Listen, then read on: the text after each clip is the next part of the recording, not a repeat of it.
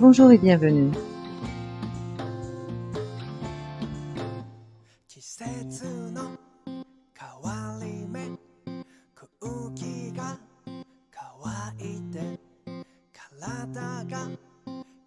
Voici le programme du jour.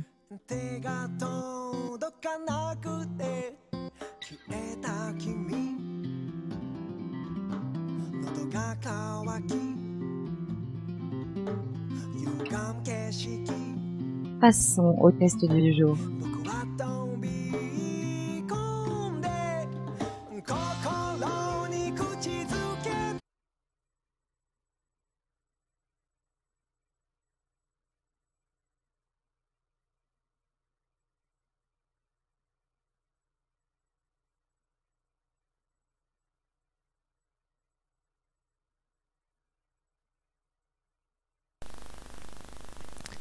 Après le brillant pur réalisé par Black Rock Studio, nous étions impatients de savoir ce que donnerait ce nouveau projet, surtout que ce dernier est édité par les studios Disney.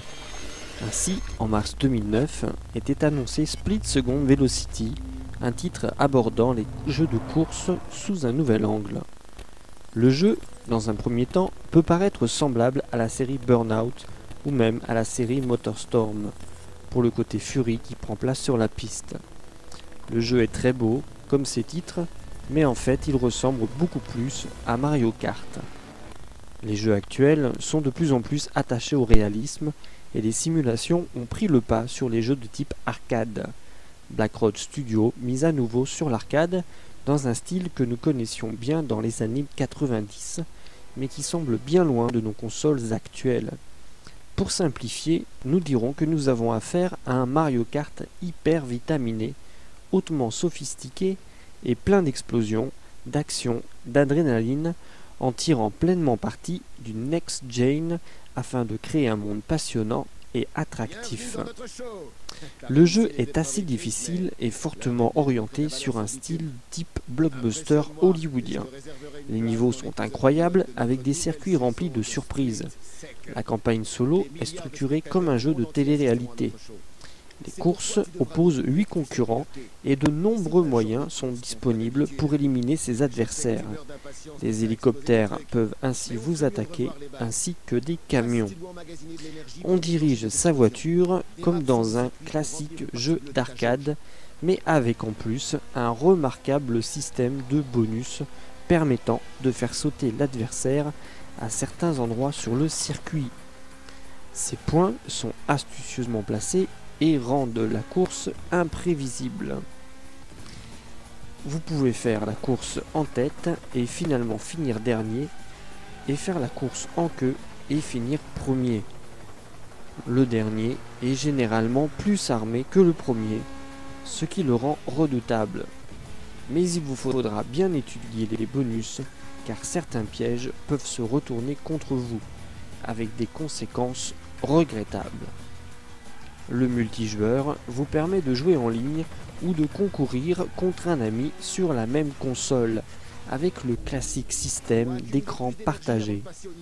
L'aspect le plus positif de ce mode est de renforcer l'expérience de jeu, car l'IA des adversaires gérés par la machine n'est pas formidable. 8 joueurs peuvent ainsi s'affronter sur le net dans une belle débauche visuelle et explosive. Si tout semble si bon, pourquoi ce jeu ne fait-il pas l'unanimité? Speed Second est un bon jeu, mais quelques points ternissent le tableau, car ces points sont particulièrement importants. La mécanique des bonus est spectaculaire de prime abord, mais finalement assez plat et un peu ennuyeux. La découverte de chaque effet est un plaisir. La réutilisation pour piéger ses amis un délice. Mais quand on a piégé quelquefois ses amis avec un même piège, tout tombe à plat. Le jeu est d'un genre très classique, donc on ne peut pas s'attendre à une révolution. L'idée de base est bonne, mais manque cruellement de variété dans son exécution.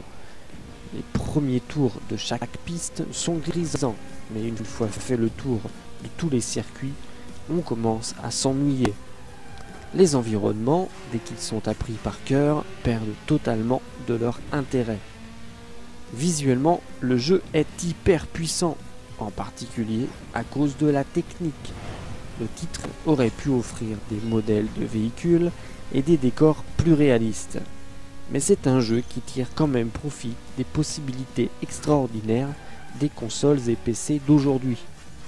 Le taux d'image par seconde est très stable et assez élevé pour répondre aux aspirations de la sensation de vitesse de tout fan du genre. Les explosions et dégâts qui sont générés sont formidables et impressionnants. Regarder dans les détails peut donner l'impression que le jeu aurait pu être mieux encore, mais Split Second reste phénoménal. L'éclairage couvre les quelques lacunes que le jeu pourrait avoir dans le domaine visuel, avec des tons terriblement exagérés, mais franchement visuels pour un titre comme celui-ci. Le jeu ressemble à une surproduction, super production hollywoodienne dans le style des productions comme Armageddon. Et esthétiquement, l'effet obtenu remporte un succès retentissant. En ce qui concerne l'audio, peu de commentaires. La bande sonore est liée à l'esprit du jeu, à savoir racoleur et vide de sens. Le doublage est acceptable et d'impressionnants effets audio enrichissent le rendu final. Split Second Velocity est un jeu de course qui offre quelques heures de jeu spectaculaire.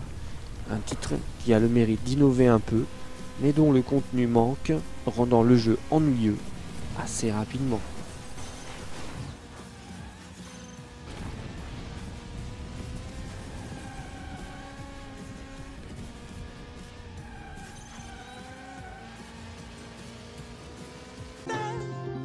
Merci de votre fidélité.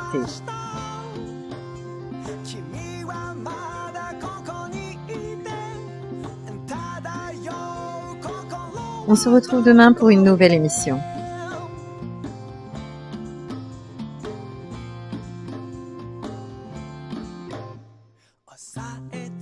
Les vidéos continuent sur planète-jeu.tv dans la sélection du jour ou en toute liberté dans la section vidéo à la demande ou en continu sur votre web TV. Portez-vous bien et revenez quand vous voulez sur notre planète des jeux vidéo.